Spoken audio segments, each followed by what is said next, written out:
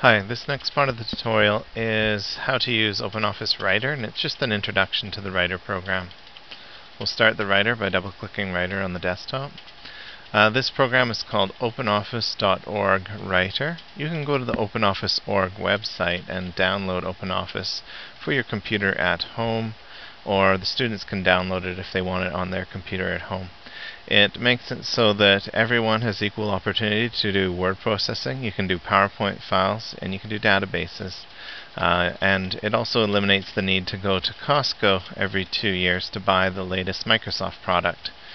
So this is just an introduction to the Writer program. Uh, what we'll look at first is the bottom toolbar here is used for fonts. It's similar in any word processing program. You got different font types, font size, bold, italic, underline, uh, the justification, bullet lists. That changes how your fonts are typed in. You see we got the bl blinking cursor here. Now, this toolbar will change when we use different objects in the program and we'll see that in a moment. So I'll show you one difference between this program and Word is if we click on Gallery here, Word would call this clip art, this program calls it gallery. And what clip art is, is a collection of pictures that you can include in your document. The categories are down the side here, and the pictures within the category are here. So I'll just scroll down a bit in the animals category and we get a list of pictures to choose from. Scroll back up. I'll click on the education category and here's some education pictures we could choose from. And there's lots of categories and lots of pictures in each category. To bring an image into the document, you click and hold on it and bring it down and let go in the document. And you see it's now down there. Now this gallery is taking up half the screen, so to turn it off, I click on the gallery button and now it's back to um, just having your writer document in front of you. Now we were just talking about this toolbar here for fonts and it's because we're on the blinking cursor. Watch what happens to that toolbar when we click on the bird. I clicked on the bird and that toolbar has disappeared and it's been replaced with one that pertains to the bird. So these are wrap options. We have three wrap options here. Uh, justification, options. Uh, there's borders. If we want to put a border on our bird, we can put a border around it. Now, some people have phoned our help desk complaining, saying that this program doesn't have any fonts, and usually it's because they're on an object that doesn't support fonts, so it doesn't make sense to change this bird object into bold, italic, underline. In order to get back to fonts, we have to click in an area of the program that supports fonts. So we're back to the blinking cursor and here we see that our toolbar has changed back to a font toolbar. If I click on the bird, the toolbar changes again to go to a object like a picture object editing toolbar. Now on here there's three wrap options. What wrap means is how the text will wrap above and below or on the sides of the picture. Now, just because there's only three in the toolbar doesn't mean that there aren't more options. And to get the more options, you right-click on the object that you're working on. And we're going to go to Picture with three dots. And there's a Wrap tab here. And we see, even though there was only three wrap options in the toolbar, here we have six wrap options. Plus the pictures are a lot bigger to look at, so we have none, which means the text will go above and below but not on the sides, before, after, parallel, and so forth. So uh, the other one is contour, which means if I click this, it would actually follow the edge of the picture uh, very close and tight. I'll turn that off.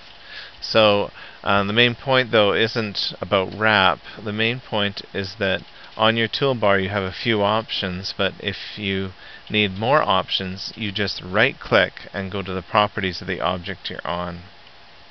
So I'll show you that again. Right click and there, there's a wrap option there, but we can also go to picture and find the wrap tab. And they can't possibly fit all these options on the toolbar, so they just put the most frequently used ones up here. Um, the next along, we'll, uh, we looked at this gallery button, which is called Clip Art in Word. Let's look at the drawing button. It says show draw functions. It's a picture of pencil that almost looks like a saxophone. So we clicked on that and a toolbar appears at the bottom. it says callout, so I'm going to click on a callout. And you get a little crosshair, so I can click and drag my mouse across slowly, and it creates a bubble. A callout bubble. I can click on this little yellow dot here and bring it around to the bird's beak.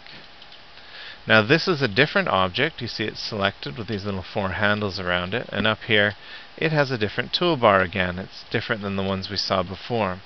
Uh, it has blue 8, which is the fill color right now. I can choose yellow. If you don't know what it's for, again, just hover your mouse over it. It says area style filling. Now, say I want to put some text in here. I can double click inside there, and my toolbar has changed again to a text editor, and I have a blinking cursor. So, now I filled that in. I click down below and my cursor's back up here. The toolbar is back to your main font toolbar. Um, the next thing I'll show you is how there are little black drop down arrows that show hidden characters. So I've clicked on one of those black drop down arrows and I'm going to choose a scroll. You see there's a bunch of hidden shapes in behind. So I'll click and drag and draw a scroll. Now this one also has a yellow dot, and this yellow dot changes the size of the roll. So every object has different properties to it that behave slightly different. I'm going to double click inside there. My toolbar's changed again to a text editing toolbar. I'm going to center the text. And this is my life story. There we go. So I filled in my life story in the box there. The next is, what we'll look at is printing. Let's go to File and Print at the bottom. So right now it defaults to the Toshiba. In the schools it defaults to the closest printer um, to where you're sitting or you can ask us and we'll change your default printer. When you're in the lab it'll print to the lab. When you're in your classroom it often prints to the Toshiba which is the big photocopier in the office. At this school here, we have options for library office. There's the printer in a library. There's a printer in room 5, which is most likely the lab, the computer lab. Um, I have access to the secretary's printer. Uh, you guys probably don't. Now, the Toshiba's photocopier, that's the big uh, Xerox machine, it often is loaded up with different size paper. So, say during report card time you want to print on legal paper, you just choose the legal uh, Toshiba paper size there. You also have the option of clicking on properties and if you wanted um, double-sided printing you can um, print uh, double-sided here. Uh, there's also options to do stapling and hole punching. I'm going to cancel out of printing. Let's look at um, the page format. Let's go to Format and Page. Now, normally when you start it up, you have to actually click on the Page tab here for the first time. And um, this is one other thing that's a little bit different between Word and this program is um, where this page is located. And this is where you, if you want to, you watch over here, I click Landscape, it flips the page sideways, so Portrait or Landscape. Um, also, if you're doing hole punching, sometimes you want to bring the margin in a bit. I'll just make it back to portrait. Now you see this margin slightly bigger. I'll make it bigger still. So you can put some hole punches on. The opposite is if you were doing a poster and you want to adjust your margin out to fit more on the page.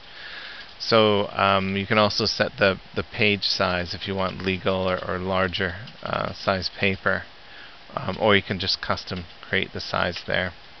Um, for your paper. The reason why I point this out is because when you're printing, um, people that are used to the Microsoft Office usually look under the File menu to set these options, and this is actually under the Page Format or the Format Page menu. I'm going to cancel out of here. Actually, I'm going to save it next, and we'll go to Save. And I'm going to overwrite this. Actually, I'll call it My Bird too. Now, if you were sending it to someone with Microsoft Word and they were too lazy to download OpenOffice, um, you can save it as a Word doc if needed. Uh, it's not necessary. You can just leave it in the schools. Uh, everyone in our district is has OpenOffice now, so um, you can save it as a uh, open document text. And I'll just hit save here, and we'll close the program down.